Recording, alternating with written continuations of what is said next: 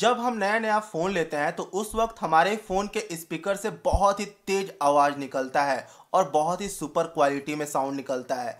लेकिन जैसे जैसे हमारा फ़ोन पुराना होते जाता है वैसे वैसे हमारे फ़ोन के स्पीकर से यहाँ पर जो स्पीकर है, उससे कम आवाज़ आने लगता है, क्योंकि इसके अंदर डस्ट, हमारा पसीना, सब कुछ जाकर जम जाता है, जिसके बाद जो साउंड क्वालिटी है, वो दब जाता है और अच्छा साउंड नहीं आता है, बिल्कुल नया जैसा साउंड नहीं आता है। तो आखिर हम क्या करें? कैसे करें जिससे कि हमारा नया जैसा साउंड हो जाए? तो उसके लिए दोस्तों, यहाँ पर आपको क्या करना है? दो सीक्रेट एप्लीकेशन को इंस्टॉल करना होगा, ठीक है? बाद में उसे अनइंस्टॉल कर कर हटा भी सकते हो, लेकिन अभी इंस्टॉल कर कर और उसे आप सही कर लो और आपका जो साउंड क्वालिटी है बिल्कुल नया फ़ोन जैसा हो जाएगा। बस इस वीडियो को लास्ट तक देखो और वीडियो स्किप मत करना, वीडियो पसंद आए तो लाइक करना और चैनल को सब्सक्राइब करना दोस्तों, ठीक है? अब यहाँ पर आपको करना क्या है? सबसे पहले आप अपने फ़ोन में इस एप्लीकेशन को इंस्टॉल करना, ठीक है? ये जो एप्लीकेशन है, मैंने इसका लिंक वीडियो के डिस्क्रिप्शन में दे दिया है। वहाँ से आसानी से आप इंस्टॉल कर सकते हो। जब इंस्टॉल कर लोगे इस अपने फ़ोन में, इस एप्लीकेशन को तो यहाँ पर आपको करना क्या है? आपको एक ऑप्शन मिलेगा क्लीन स्पीकर का नाम से, ठीक है? तो बस आपको क्या करना है? क्लीन स्पीकर पर क्लिक करना है। जैसे क्लीन स्पीकर पर क्लिक करोगे तो आपके स्पीकर से अलग अलग टाइप का फ्रीक्वेंसी निकलेगा, ठीक है? अब लेकिन आपको करना क्या है? जिस तरफ़ आपका स्पीकर है फ़ोन का, उस तरफ़ से आपका फ़ोन रखना है। अगर आपका फ़ोन का स्पीकर नीचे है तो कुछ इस तरह से खड़ा कर कर रखना होगा। अगर आपका फ़ोन का स्पीकर पीछे है तो आपको इस तरह से डाउन कर कर रखना होगा, ठीक है? अगर साइड में है तो इस तरह से रखना होगा, ताकि जो भी आपके फ़ोन के स्पीकर में डस्ट है, वो आसानी से निकल जाए, ठीक है? वो आपके फ़ोन से अलग अलग टाइप का फ्रिक्वेंसी निकलता है। देखिए, सुनिए।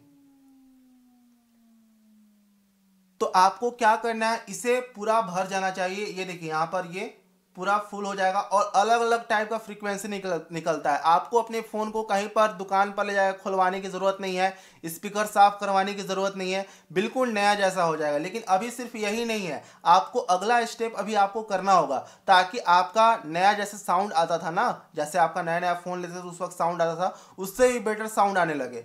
तो यहाँ पर देखिए, ये हो चुका है इज़ इट रिपेयर यहाँ पर लिख दिया, ठीक है? तो आपको क्या करना है? एक बार और करना है। रीस्टार्ट पर क्लिक कर कर एक बार और करना होगा। दो बार आपको इसे कर लेना है और जब ये दो बार आप कर लोगे तो आपको यहाँ पर दूसरे एप्लीकेशन में आना है, जो कि मैंने इस एप्लीकेशन का भी लिंक वीडियो के डिस्क्रिप्शन में दे दिया है, ठीक है? दोनों एप्लीकेशन का लिंक वीडियो के डिस्क्रिप्शन में वहाँ से इंस्टॉल कर लेना और यहाँ पर आपको ये जो वॉल्यूम है, ये आप जो देख रहे हो इसे आपको फुल रखना है, ठीक है? और यहाँ पर आपको जो एक बूस्ट का ऑप्शन मिल रहा है, आपको इसे 40 से 50 परसेंट रखना है, ठीक है? यहाँ पर 40 से 50 परसेंट ये देखिए मैंने यहाँ पर कर दिया।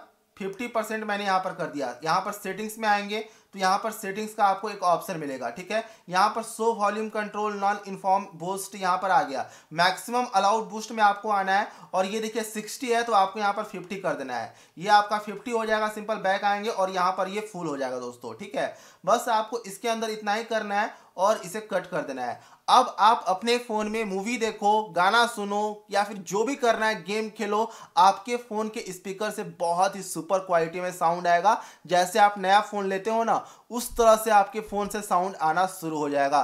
तो एक बार ज़रूर ट्राई करना और इस एप्लीकेशन को अपने फ़ोन से अनइंस्टॉल कर हटा देना जब काम हो जाएगा। लेकिन इससे आप मत हटाना। इससे आपका साउंड जो है बूस्ट होते रहेगा और आपका साउंड बेटर क्वालिटी में निकलेगा। तो कैसा लगा ये दोनों एप्लीकेशन? कैसा लगा ये ट्रिक मुझे कॉमेंट सेक्शन में ज़रूर बताना। बाकी वीडियो अच्छा लगा तो लाइक कर देना। चैनल को सब्सक्राइब करना। मिलता है किसी ने वीडियो के साथ। जय हिंद।